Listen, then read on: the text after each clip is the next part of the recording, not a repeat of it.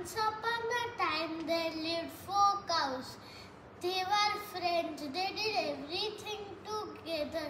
They went for grazing together. They played together and they also drank water together.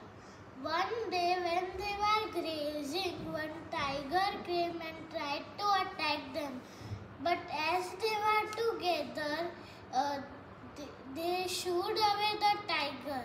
The tiger thought of a plan that let me uh, mm, uh, let me try to make a misunderstanding so they would go away. Then he told to the first cow that uh, did you know that uh, the all the three cows were telling that you never keep your words.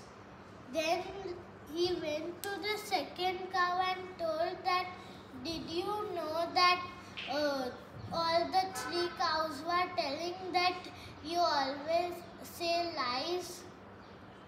Like that he went to all the cows and told uh, that he and he made a misunderstanding.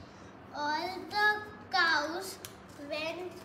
different ways and then the tiger ate them one by one. The moral of the story is that you